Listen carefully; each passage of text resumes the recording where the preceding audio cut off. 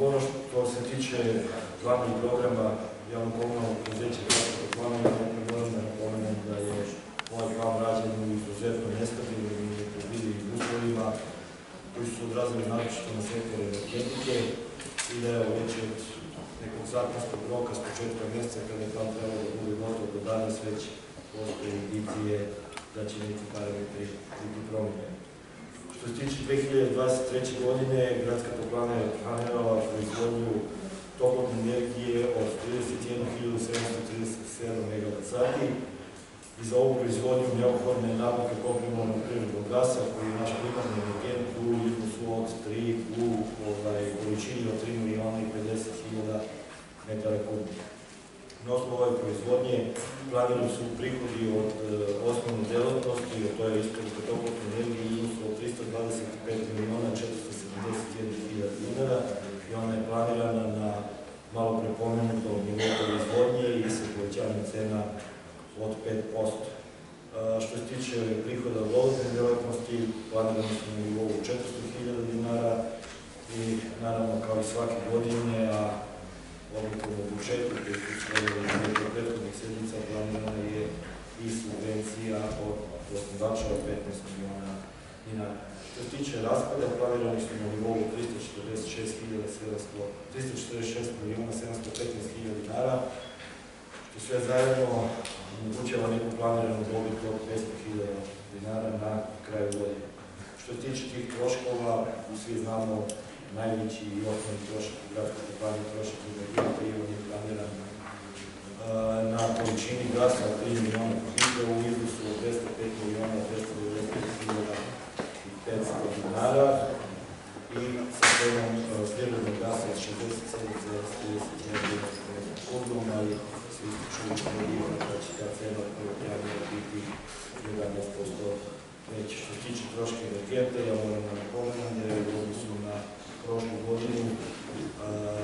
komprimovani prirodni gas, odnosno energent koji nama primarni, koji koristimo na veću cenu za neću 30% od današnjeg dana,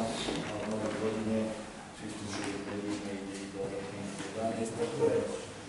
ovaj, otprilike neki osnovni razlog povećanja naše cene od svega 5% i mislim da, da će to omogućiti neko stabilno poslovanje kao neki od većih troškova, malo je kolega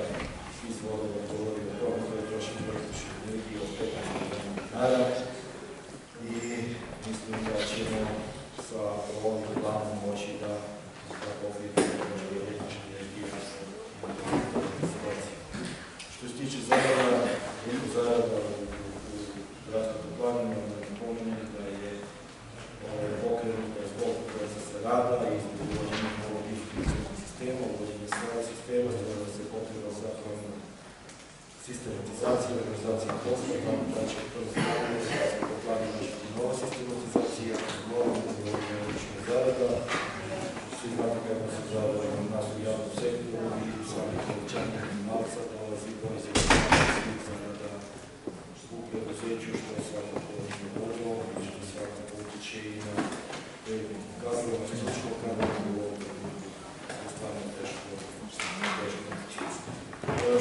Dobiti je nekako 500.000 dinara, ovaj, moram da kažem u ovom uslovima u kojima smo funkcionišemo, u kojima smo radili u ovom planu, smo se uvijek nekih investicija, tako da je za investicije odvojeno nekih 15 miliona dinara, odnosi se na osposobljavanje linije sa dva sistemom, izolaciju zadržavanja, skrava sistem 900.000 dinara,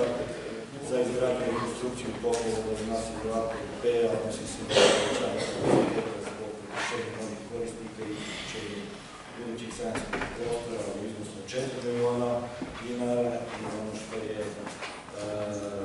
ostavit će se neophodno, to je sanacija zona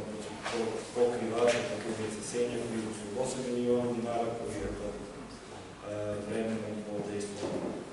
struktura iz mazuta i ostalih mesa u nekoj fazi kada mora biti Što se tiče zaduženosti, svi znate da je to plana korisnik KFE 3 i KFE 4 programa, mi ove godine e, završavamo s otvorom tog kredita, da je nekih 50 milijuna dinara, znate da a, većinu tog kredita vraća gradskog plana, a da deo toga dobijemo subvencije od osnivača i da je samo odlukom u budžetu od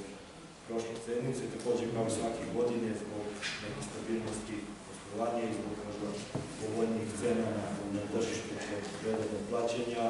koristit ćemo dozvoljeni minus, odnosno ovaj draft kredit u iznosu od 30 miliona dinara, naravno tih 30 miliona dinara predstavljaju neku stabilnost u našem poslovanju, ali do sada nismo bili u nekom većem tog ove draft kredita, ali ovaj, zima koja nas čeka i uopšte godina 2023. to me čeka, mislim da je